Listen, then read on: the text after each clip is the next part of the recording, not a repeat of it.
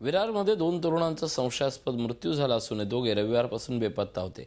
मित्राच्या बर्थडे पार्टीसाठी जात असल्याचं सांगून ते घराबाहेर पडले होते.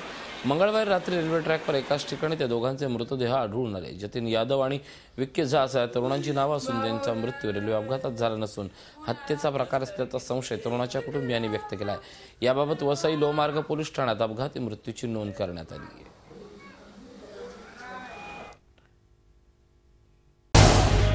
झी चोवीस तास. रहा एक पाऊल पुढे.